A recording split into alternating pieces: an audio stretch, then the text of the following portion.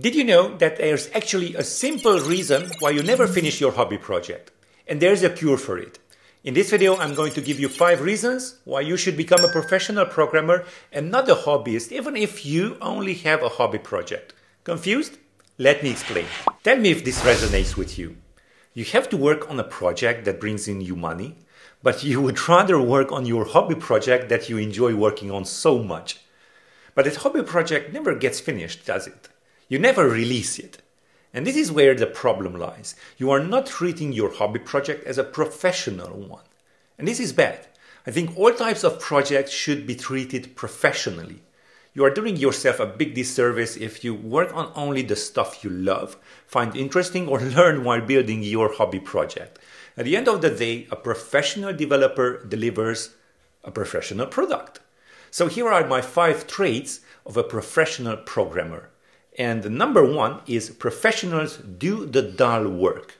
I think one thing that distinguishes professionals from hobbyists is that they can uh, kind of trick themselves uh, that this, these dull works are really enjoyable. They do the fun work also and make the dull work fun.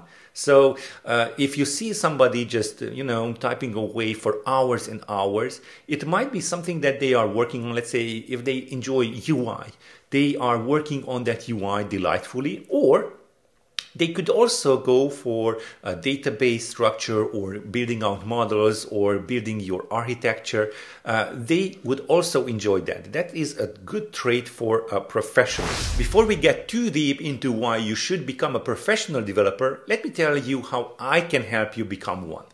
There's a link in the description which is no secret by now.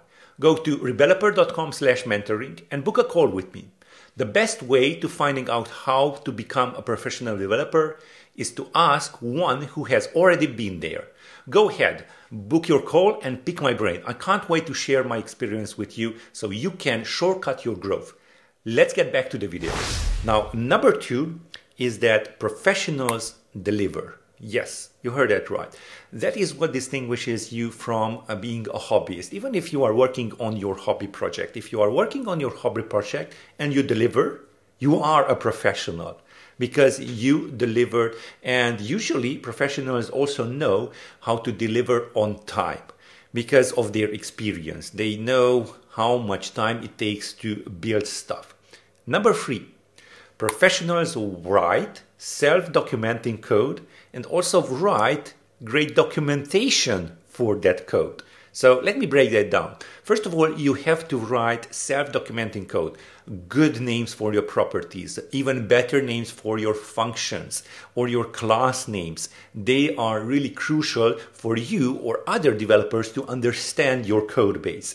Also, uh, that's self-documenting code. Also, you want to write documentation for your code because in some cases it's not just all about naming conventions. It's about logic, choosing the right architecture, explaining why you chose that, and so forth. Professional developers know that writing bad documentation is going to bite you down the line. So yeah, make sure that you write good documentation. Number four, professionals take a step back from their code. It's kind of counterintuitive, isn't it? Like you want to make this work, you want to solve this problem, you want to find and fix this bug.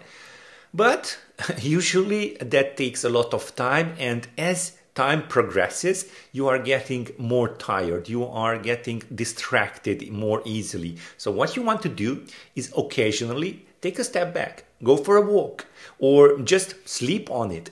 Uh, professionals do this all the time, and uh, trust me, your brain is still working on the problem, and it will give you a solution after your work or after a day of a good night's sleep.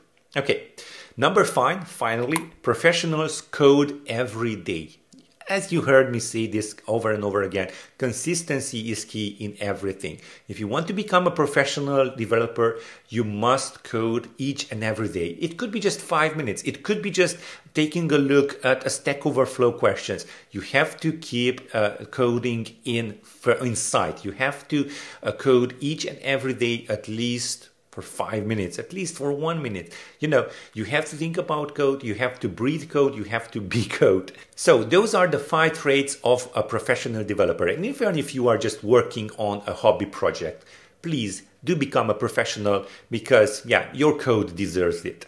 And if you want to know the 10 commandments of Swift UI, go ahead and check it out. It's right over here.